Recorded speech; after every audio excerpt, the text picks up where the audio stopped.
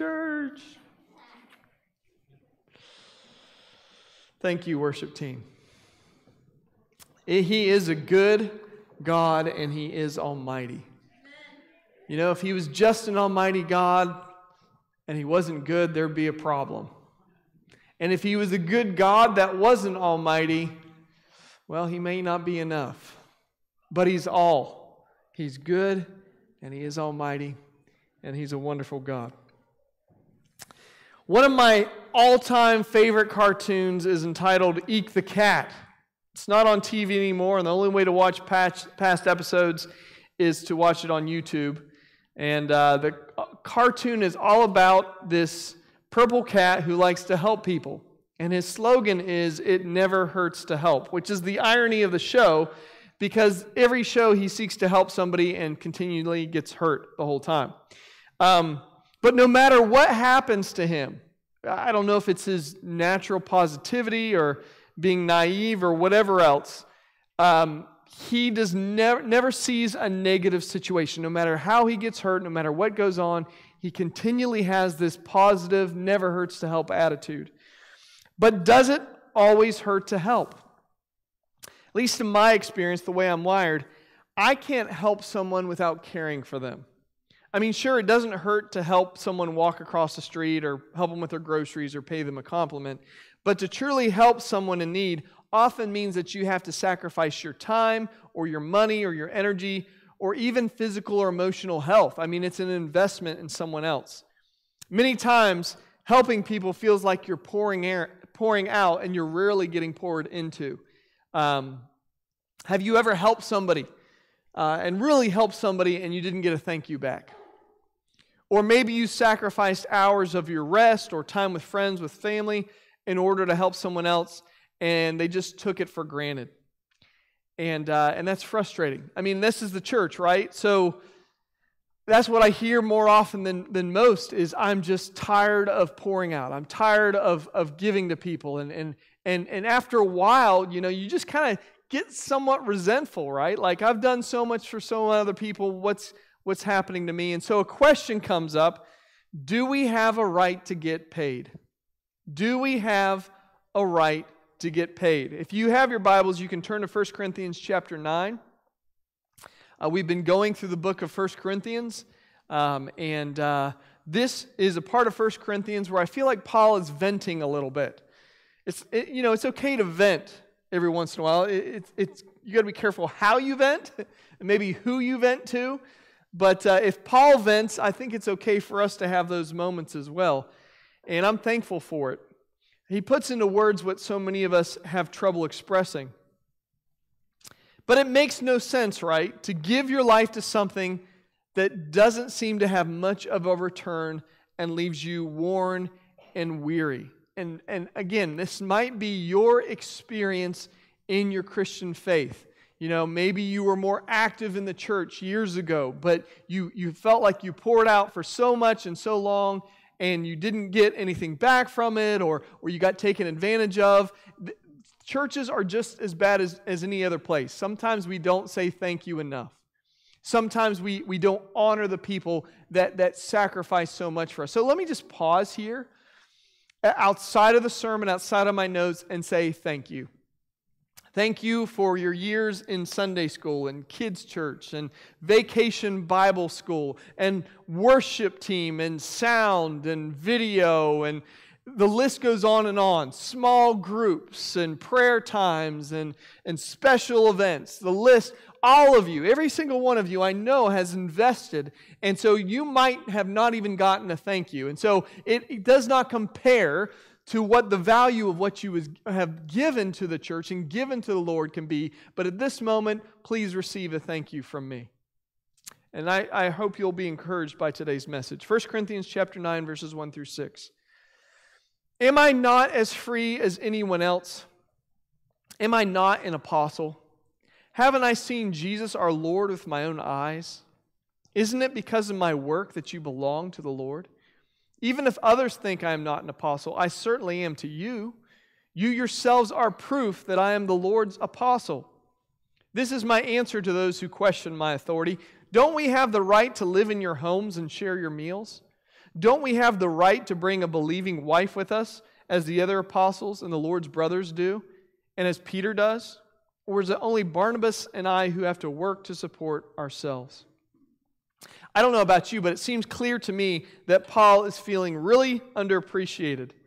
And yet, at the same time, I think he's also struggling with people's expectations of him. Either they don't expect enough from him, they, they don't see him as an apostle or a person of authority, or they expect so much of him that he doesn't have the time or the availability to enjoy some of the simple pleasures of life by even sharing a meal in someone's house or, or having a wife. And so, a person's calling in life can be a difficult thing to understand if you're not experiencing it yourself. I get this question from time to time as a pastor What do you do as a pastor? I mean, I know what you do on Sunday mornings because I, I see you, but what does a pastor do? That, that is a number one question I get. And it's not that people are being mean or rude or they just don't know. Uh, most, most of you interact with me maybe once or twice in a week uh, consistently. And so uh, I'm going to bring some clarity to you today as to what the life of a pastor looks like. Now, this is true of me. Not all pastors are the same, uh, but this is mine. So I teach a middle school Bible class four days a week uh, for an hour. I'm in charge of managing the facility of our church from renovations to maintenance. And so I work with our building and grounds chairman Shout out for Darren Stockett, amazing man. Uh, to make sure that everything is in working order. Uh, I prayerfully seek to meet the needs of our church body. That means Pastor Sean and myself work hard to know what is going on in your life and how we can assist either physically or spiritually and share in sharing your burdens. I write a sermon weekly, preparing my slides and take the time to make sure I deliver it clearly. Hopefully, it's clear. Um, I teach the youth on Wednesday nights. I manage my staff, making sure we're working together in the direction God wants us to go. I work constantly with the Board of Stewards on finances and facility use and the pressing needs of our church family. I make phone calls and text messages checking on people and giving them pastoral care. I meet people in their homes and nursing homes and hospitals. I seek to comfort grieving families during times of loss and share final words at funerals. I counsel and encourage couples seeking marriage. I vision for a local church discipleship and growth, trying to match people's spiritual gifts and callings with the needs of the church. I create the podcast, radio broadcast, and the road sign. As you've seen, the road sign hasn't been updated in a while. It's on me. I set up the soundboard, multimedia, and make sure everything is in working order on Sunday morning and that the chairs are straight. I'm on call 24 7 to rush out and meet people at their most difficult times and lowest points and give them hope in Jesus. All of this while balancing home life, my family, doctors, dentists, car maintenance, taxes, meals, house projects, and occasionally sleep. Now, I did not tell you all of that so that I can get a pat on the back. But what you don't know, you don't know, right? How often do we suffer by what we don't know? And I'm sure that I could ask every single person in this room, tell me what you do in a given day. Tell me about the responsibilities. Tell me about the, the burdens you carry. And I, my response to you would be, I don't know how you do it. I don't know how you make it every day. I don't know how you balance everything well. I don't know how you're, you're, you're carrying all these balls that you're juggling in your life. And uh, Paul is struggling here because he, he, people don't seem to realize all that he's called to do and accomplish and he doesn't feel like they are properly appreciating him or compensating him. He even says, Is it only Barnabas and I who have to work to support ourselves? Now, let me be clear here. I didn't share what I shared because I'm looking for a raise.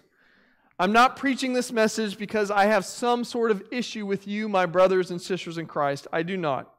As you know, we've been going through 1 Corinthians, so this was the next chapter, and I have not been waiting to preach this message. Paul is giving some direct and honest guidance for how we're to live the Christian life. But I believe it's important that we understand the life and sacrifice of full time ministers, whether missionaries, pastors, or even Christian educators, or even those who are pastors that work a full time job otherwise, or those who are involved with InterVarsity or other college ministries as well. Even beyond that, let's just take a breath and let's have grace and sympathy for everyone in this room. because none of us know what following Jesus has led anybody else to. And so, especially in this season and this day and age, we can easily get into that comparison game and, and let's just have grace and sympathy for each other, okay? Our expectations of each other are possibly and most likely unreasonable. And they may be feeling just like you, overwhelmed and underappreciated. And so, in this room right now, you are loved and you are appreciated. And I am the first to tell you, I have no idea what your daily life looks like. I could ask you the same question. Besides Sunday morning, what do you do? And you may be able to, to, to open up the books for me. And, and, and it's funny, even at sometimes at, at, funerals that I've done for people, and I hear what they've accomplished and what they've done, I, I, don't, I learn things that I didn't know before. Let's keep reading. 1 Corinthians chapter 9, 7 through 11. What soldier has to pay his own expenses? What farmer plants a vineyard and doesn't have the right to eat some of its fruit? What shepherd cares for a flock of sheep and isn't allowed to drink some of the milk? Am I ex- expressing merely a human opinion, or does the law say the same thing? For the law of Moses says you must not muzzle an ox to keep it from eating as it treads out the grain. Was God thinking only about oxen when he said this? Wasn't he actually speaking to us? Yes, it was written for us, so that one who plows and the one who threshes the grain might both expect a share of the harvest. Since we have planted spiritual seed among you, aren't we entitled to a harvest of physical food and drink? Another part in the scripture says, A work is worth his wage. It's a principle in the world, both according to God's law, and it's a principle in the secular world. Uh, and, and so that's a big debate right now. And I don't want to get into a full economics discussion right now, whether the, the minimum wage cost or whatever else, because that's this is a huge topic right now in our culture. But I will say people should be properly compensated for what they do. Now, some people overestimate their value, and other people work jobs that no one wants for peanuts. Uh, but I will say that this principle is true that, that a worker is worth his wage. And I think that's one of the reasons why God established the principle of a tithe for believers. It helps us understand, yes, that, that all we own, everything that we own, we say we own, we don't own, right? God has entrusted to us everything we have, from our breath to our health to our abilities to our talents, every, everything. And so the tithe is a principle where God says, I've given you 100% of what's mine, and you get to keep 90 and you give 10% back to me. And so if we have that proper teaching and perspective, tithing is not a problem because God's blessed us with 90% of, of what He has, and we only have to give 10% back. But tithing also has a practical side. It enables you to have the leadership in the church that you desire. Do you want to have a vibrant youth group program with a fully paid youth leader or worship leader or kids ministry or young adults? I think we all do, right? So are you paying your tithe? Do we want to do outreaches in our community or to continue to create an atmosphere and a facility that's conducive to worship? Are we paying our tithes? Churches are 100% dependent on people who are called to their local assembly. At times, as a pastor, I get frustrated when people leave our body because they say, Well, I really wish you had this. Or this is a part that I think would really minister to our family, and so we're going to leave your church because you don't have this. And what's frustrating to me is we don't have it because either we're not properly giving or there are not enough people to offer those services. And so there's this ongoing cycle that occurs because people leave us because we don't have it. And when they leave, we have less people and less resources. And so we just go through the same process over and over and over again. Not paying your tithe isn't any different than not tipping your waitress or not paying your car mechanic or ignoring your electric bill, or the carpenter that's renovating your house. Those called to ministry give their lives for you, and what they receive in monetary pay is entirely dependent on your willingness to give your 10%. Not to mention that tithing is a command given by God. So not only are you not compensating people for their labor, and every good minister of the gospel is dedicated to your life and to your benefit, but you're also robbing God. Let's be honest, when we struggle to pay our tithe, we aren't thinking about God and we aren't thinking about others. We're only thinking about us and our wants and our needs. So tithing should hurt at first. But as you go through the process of tithing, you receive so many benefits. And there's so many miracles that you see how God provides and makes a way that it actually gets to be something that you get excited about. I know that's hard to believe, but it's true. Let's keep reading 1 Corinthians 9 12 through 18. If you support others who preach to you, shouldn't we have an even greater right to be supported? But we have never used this right. We would rather put up with anything than to be an obstacle to the good news of, about Christ.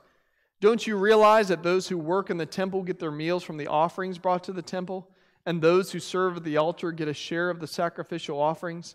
In the same way, the Lord ordered that those who preach the good news should be supported by those who benefit from it.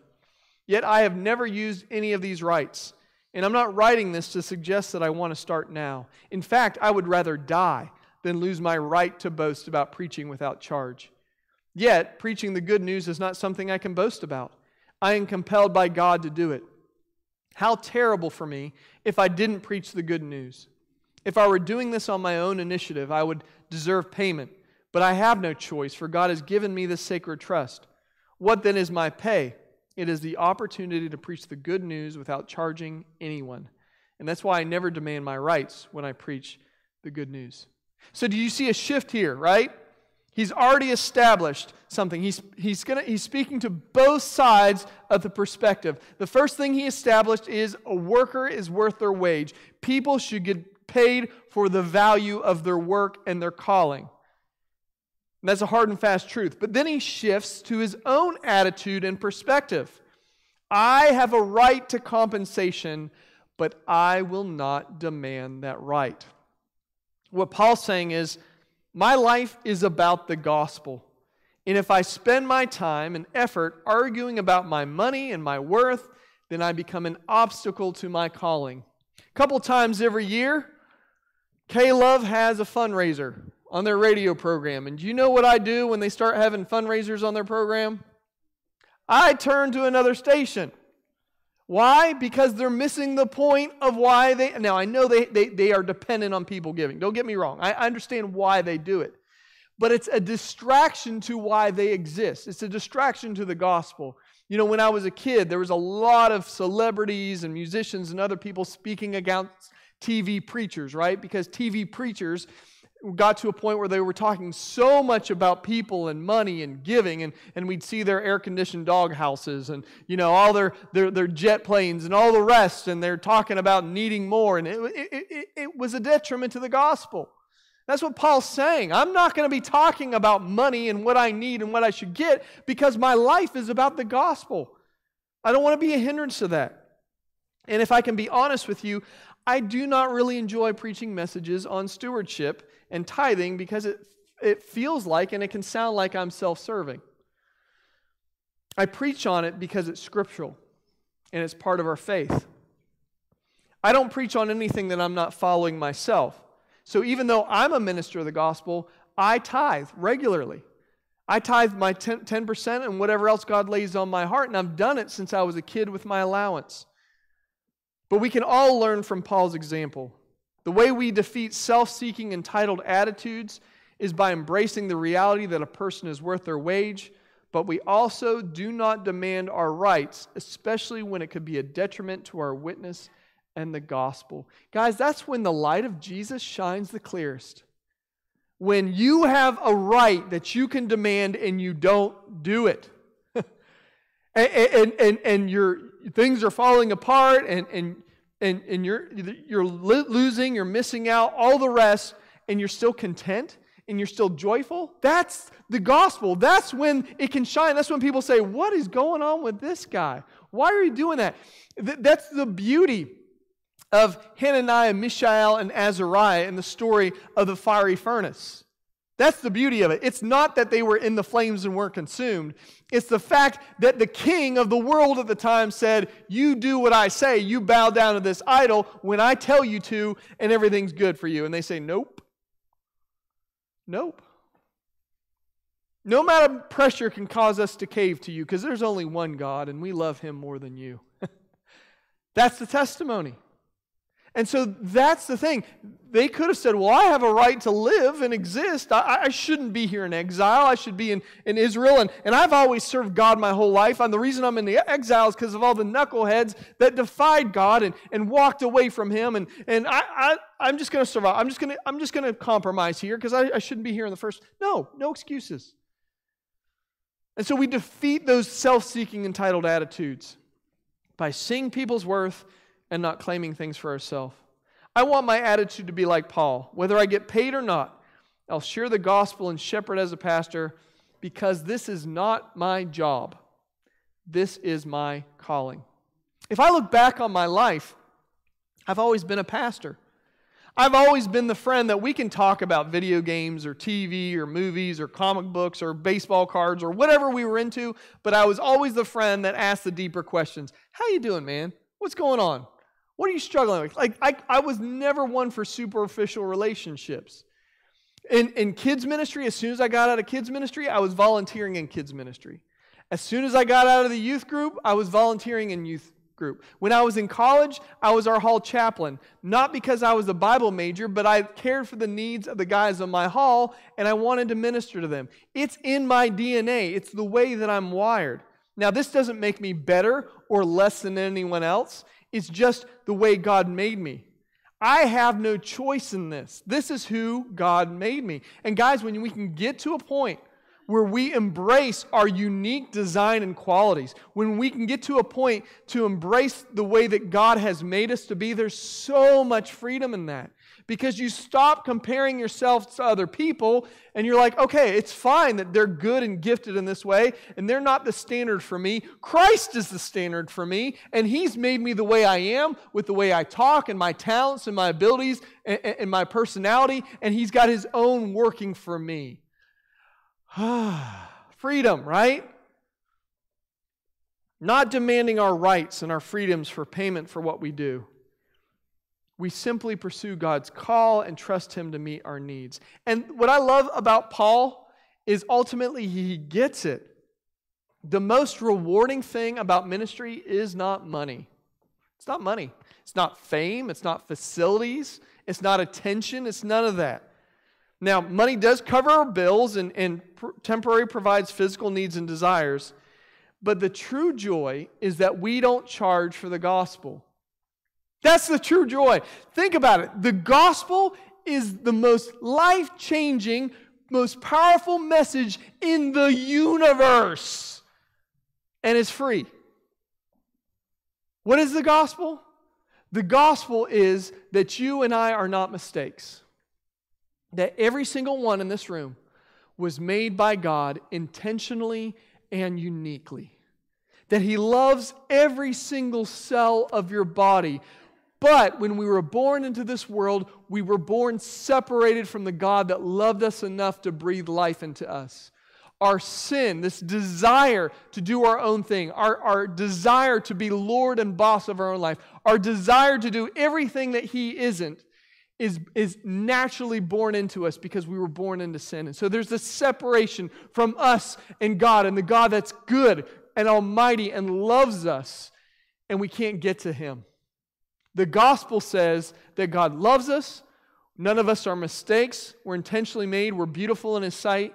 And He didn't leave us in our sin, eternally separated from, from Him. He loved us enough to become one of us fully God and fully man. And he walked this earth and he said, This is what heaven's like. This is what the kingdom of God is like. This is the way the world should work. This is who I am, and this is who you're supposed to be. And he spent years and years doing that, and then ultimately he died our death.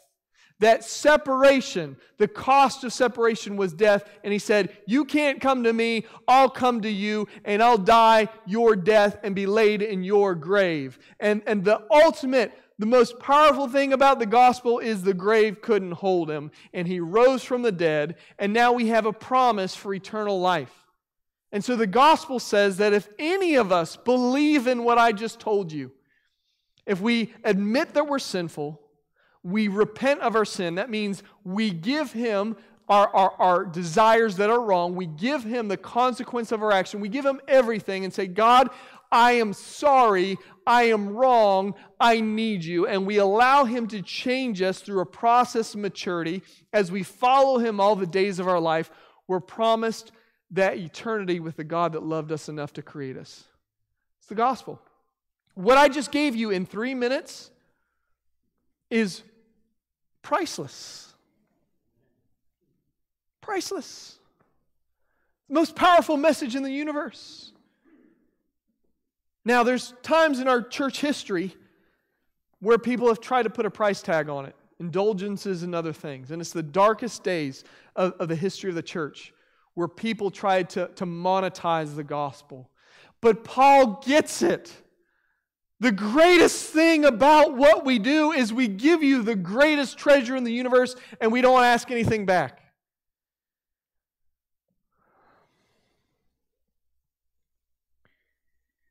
That's why my rights and freedoms must always, always be separated from the gospel. And it's tricky for us right now in this day and age in America because we're moving our rights and freedoms, it seems like daily sometimes. As our culture moves away from God, as our government becomes more corrupt. Is it okay is, that this is happening? No. Is it right? No. So what do we do? We share the gospel freely without a price. We share the gospel freely without a price. But what about my rights? Doesn't matter. But I know the gospel. People who are caught up in what they deserve miss the point.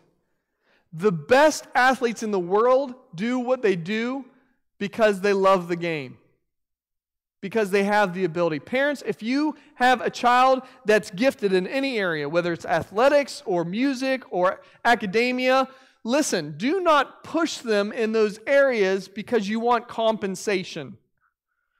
You encourage that gifting because your child can do something that not many people can do. And because they can do it, let them use that for God's glory, for His pleasure, and He's going to give them a platform in the future to stand on.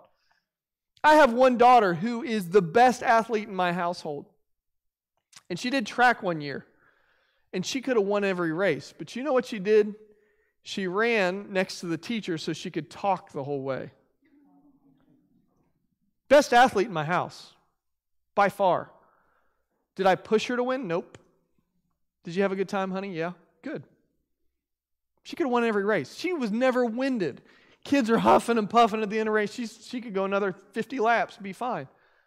Why? But she's got so much talent. No, no, no. The point is how she uses it.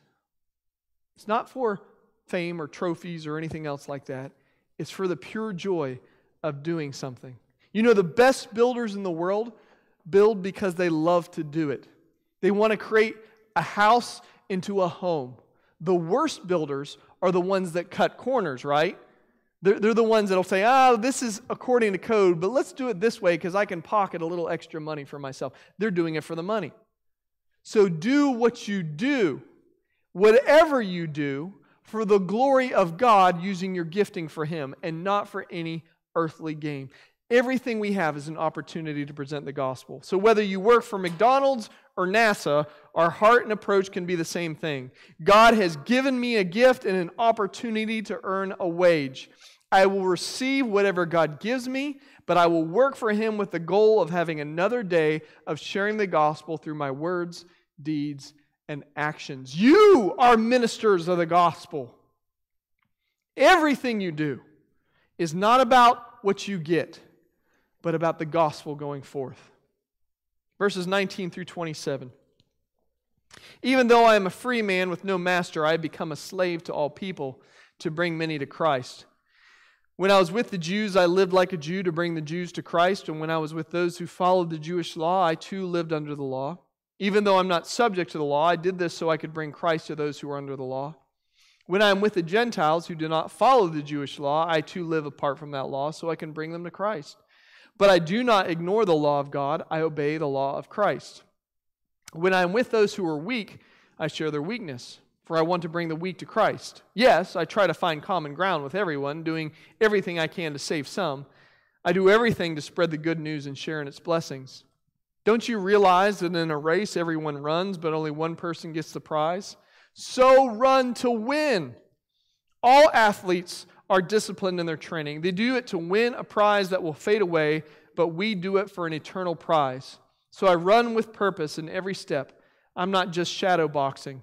I discipline my body like an athlete training to do what it should.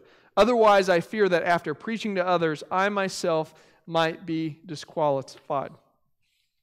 You know, politicians or salesmen, marketing executives, many times only want to connect with you or identify with you so they can take something from you, right? They don't care about you really. They just want your vote or your money or your time, and they have ulterior motives. And so we have a society full of distrust, don't we? We don't trust anybody because everybody has an ulterior motive. Everybody seems to want something from you. And if you have nothing to give, then if you don't have anything to give, then they don't want anything to do with you anymore. But Jesus is different, and his followers are different too. Listen, what do we have that God wants? What can we give him that he doesn't already have? I mean, does he need us to exist? That's what holy means. Holy means that he's complete in and of himself. There's no outside force or influence in this life that can complete him. He's totally and completely whole, W H O L E. And that means he's holy, pure, complete, contained. So, what does he need from us? Nothing. So, why does he want us? Because he loves us. Paul says that he tries to find common ground with everyone, not to take from them, but to give himself fully to them for their salvation. I want common ground with everyone. Now, I, I don't have time to go through this passage this week. We'll cover it next week. But that's the kind of heart we should have. But what this means is I might, I might have to live perpetually giving and keep giving. I might give so much and I might not get back what I've given out in this lifetime. And that's a fact. Let me just tell you if you're going to measure your value and worth between the dash of your birth and your death here on this earth, let me just tell you right now you are not going to get back what you give out if that's what you're cruising for, right? But if you think about eternity, He knows that everything he does is worth it because there's an eternal prize that's waiting for him that this discussion in this world cannot offer. Cannot offer. And so he uses athletes as an example. Uh, I love football. I can't help but love football. And uh, maybe some of you saw this discussion, but the, the USC head, co- head uh, coaching job is available. In fact, I think I was with Luke when we heard the news uh, that they're looking for a head coach for USC. And uh, uh, there's a guy on um, the Dan Patrick show, I'm drawing a blank on his name, that was saying, Yeah, yeah, we're looking at lots of different options and, and naming different coaches' names. And one of the names that came up was Mike Tomlin, who's the head football coach of the Pittsburgh Steelers, right? And uh, we love our Mike Tomlin. And, and so he, he, was saying, yeah, he's got an older quarterback who, who may be retiring soon. He's been in that job a long time. You know, this USC job is so great that, um, you know, anybody would want it. So the next press conference, the, the, the, the question came up to Mike Tomlin. And Mike said, I am the head co- football coach of the Pittsburgh Steelers, the greatest job in the world. He said, Don't talk to me about college football. He said, they, they say never say never. Well, I'm saying never.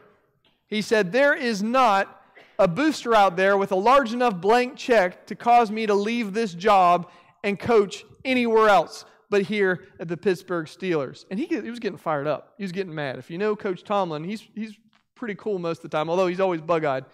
Um, he was intense. And he said, I don't ever want to hear this question again. Why? Because his eyes were set on a goal and nothing compared to what he already had. You get where I'm going here?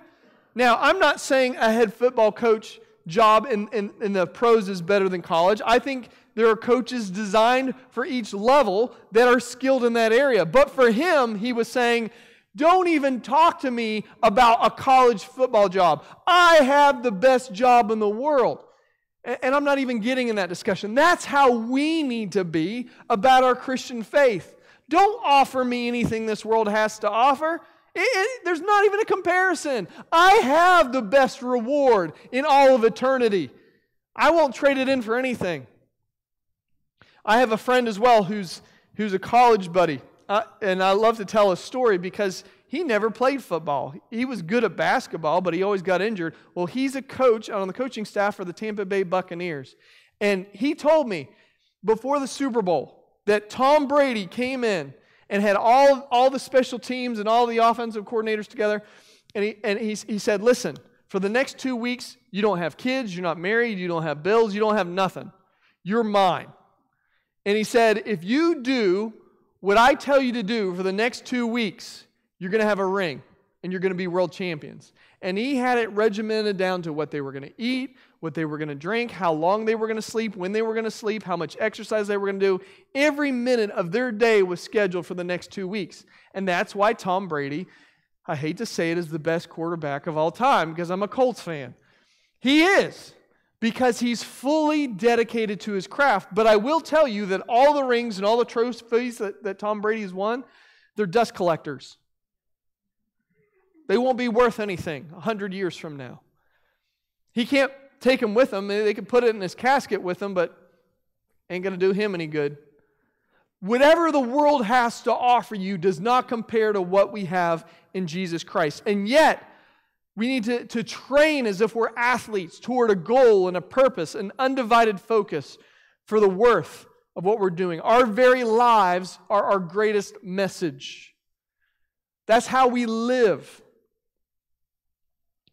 I'm going to be transparent with you.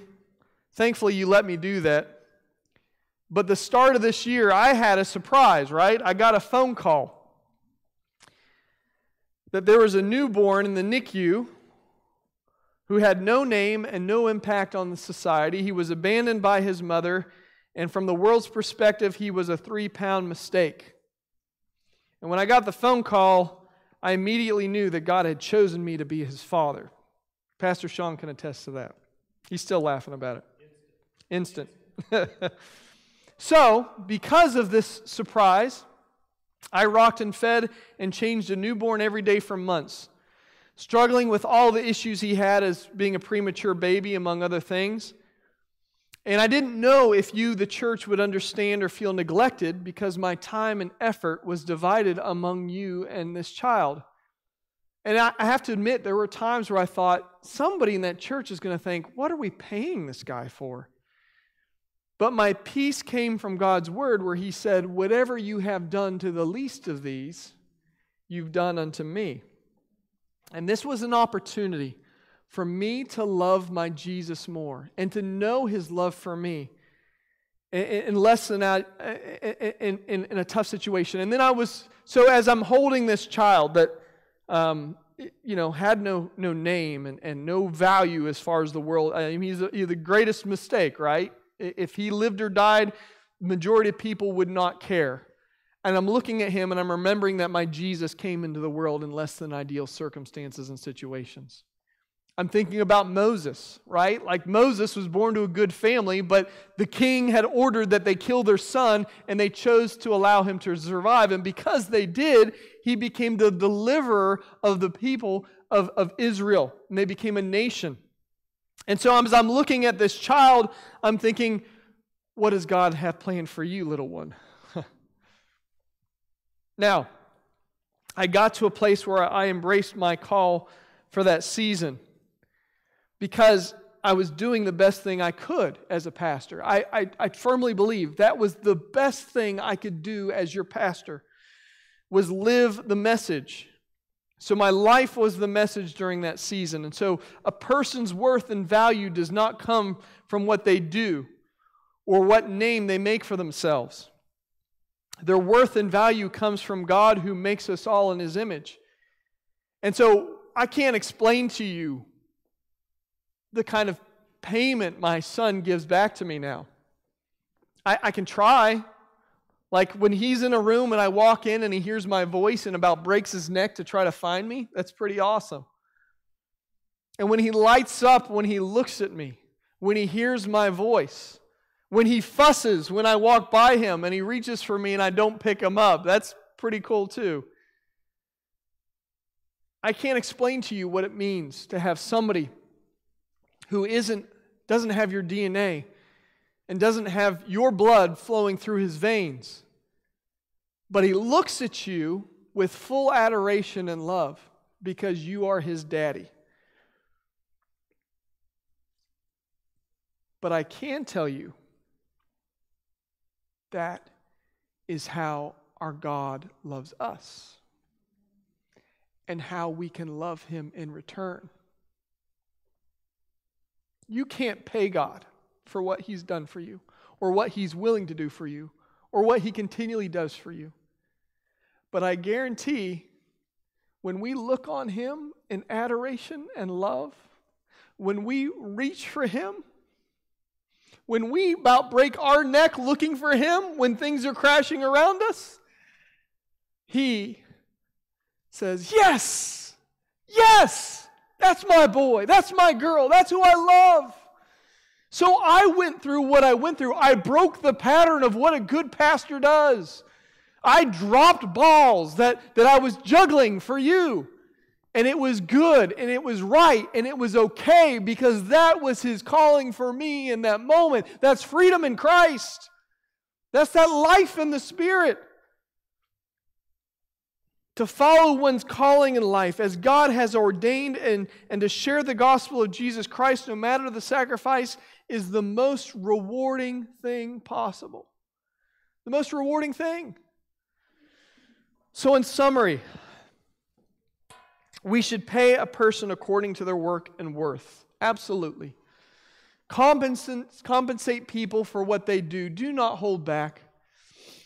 At the same time, don't seek to demand your own rights or worth. Instead, look for every opportunity to share the gospel of Jesus Christ. I think both perspectives are essential, and I think if both are in balance, we'll look like Jesus. And I think Paul's got it. I think he's got it. So you value and you put worth on everyone else, but you ask nothing for yourself and you receive whatever God gives you. That's freedom, that's life, and our eternal value, our eternal reward is worth it.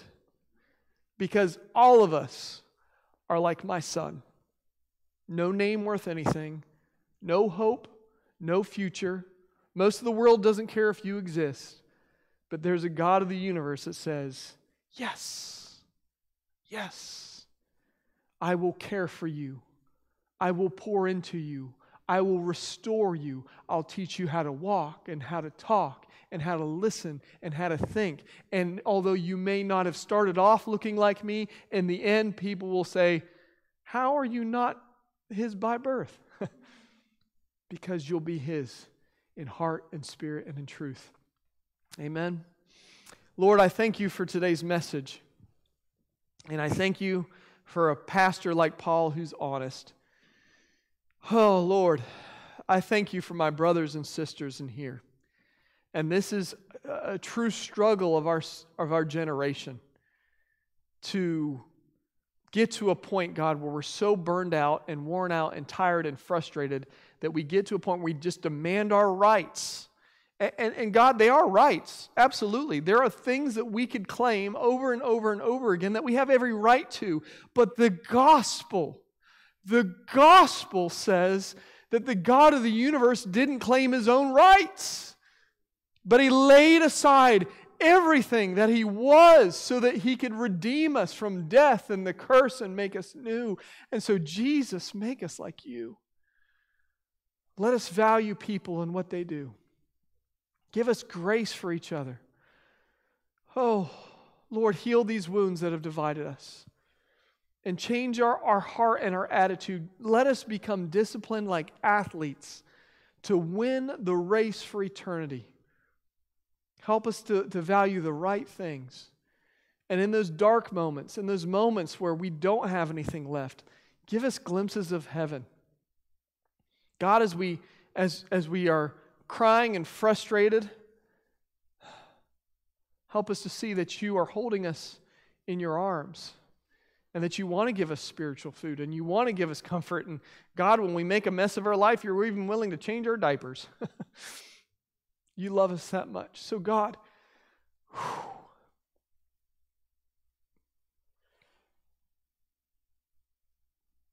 you paid a debt you did not owe. I owed a debt I could not pay. I needed someone to wash my sins away. But now I sing a brand new song, Amazing Grace. Christ Jesus paid the debt that I could never pay. Thank you, Lord. In your name we pray. Amen. As the lights dim down, um, church, we're not formal. We are who we are. We're family. So you come.